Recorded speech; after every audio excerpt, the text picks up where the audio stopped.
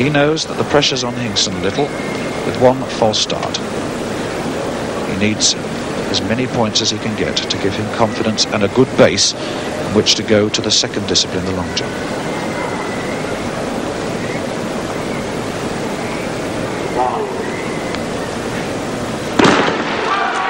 Oh, Daley's away well. Hingsen not too badly away and Bent's in the middle, but Thompson coming away now on the near side. And he's holding up at the moment and Niklaus on the far side. Thompson leading by a long margin. Niklaus in second. Third on this side, Kratschmer. 10.62. And that's uh, a good start for Daley. His best is 10.50. That was the Edmonton run in 1978. But 10.62, if that's confirmed, gives him 900 points. He got away very well. Look at the use of arms. Good driving from the from the knees, and he's sprinting well. He's already away from the big uh, West German on his left, and uh, Kratschmer left in his wake on the right. The only man to challenge is Niklaus of uh, the Switzerland on the far side, who is a sprinter, and Kratschmer in third on this side. But the important thing is that Daley's notched up a fine start. Very good jump indeed. And this is where he puts himself under pressure, but 105% is all you'd ask for him. That's a fine jump. Red flag. Oh, the last thing in the world he wanted was a red flag.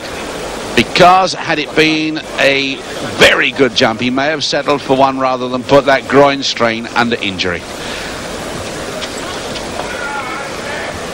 He really does come hurtling in. There's no compromise about this fella at all. And what a pity. Sinks, and yes, he's over. And look at the height that he climbs. Feet hit the sand at about 775. But he has to, uh, he's got two more jumps and he puts himself under even more pressure. The long jump is one of the events he wanted to avoid as much as possible because it uh, that's aggravating that groin strain. But he must get one in this time or he puts himself under a great deal of pressure. And that's better.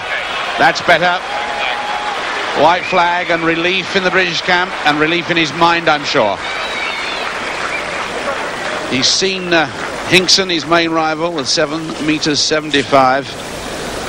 But this is uh, great piece of composed long jumping. Sinking, reaching for that board, and he was good on the board. That's a fine jump.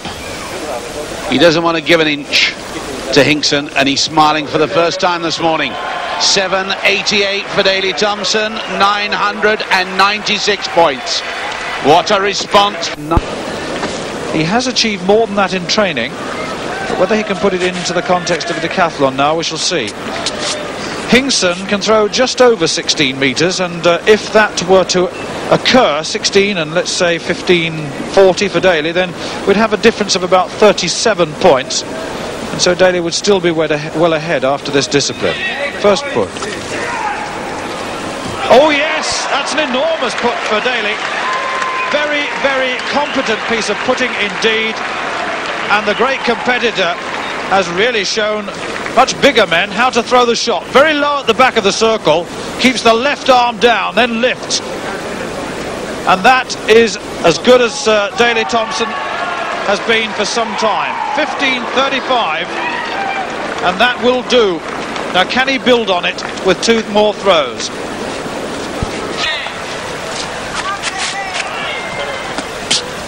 So, a very confident Olympic, European and Commonwealth champion at the moment.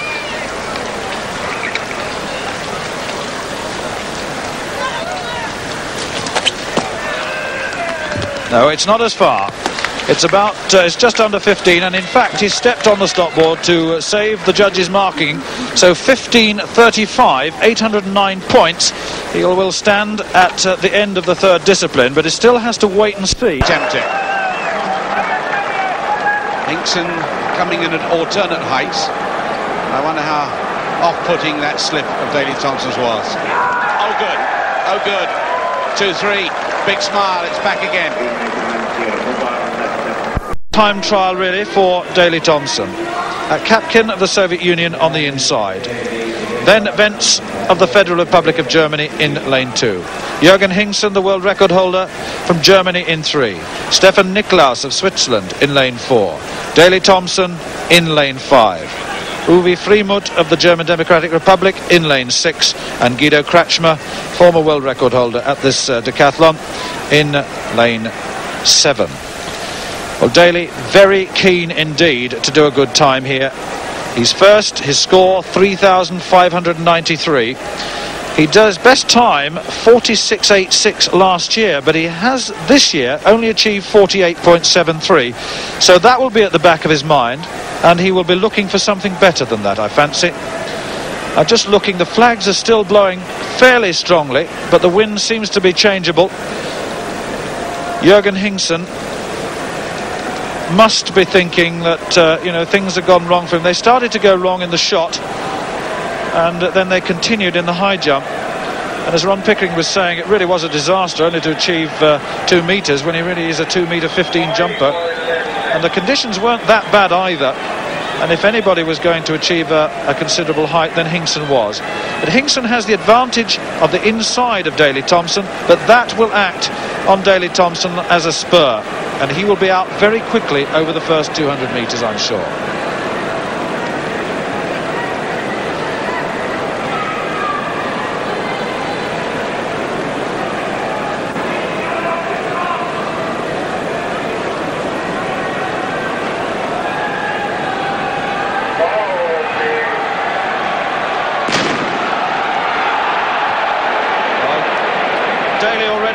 On Freimuth outside him and he's going for a very fast first 200 metres and Hingsen making no impression at all on him at the moment. Kratschmer on the outside is Thompson's target now and he's already overtaken him on the stagger. Hingsen's up there and so is Wentz on the inside and at Kapkin. Thompson storming through 200 metres and now it's all about the clock. The time, we must get somewhere in the region of 47 seconds for him to be in with the good score and Hingsen in his wake. Thompson now driving hard, but they're catching him.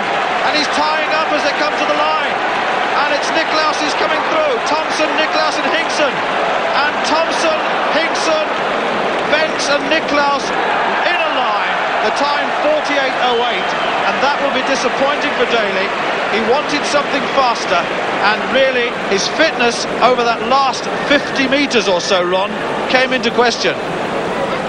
Well, I've got to say, Stuart, I was worried about it from 200 metres. He obviously isn't feeling confident. He had real trouble struggling up the home straight. I still think that he may have done enough, but that gives him a first day total of 4, 4, 8, 7 or thereabouts. But to be caught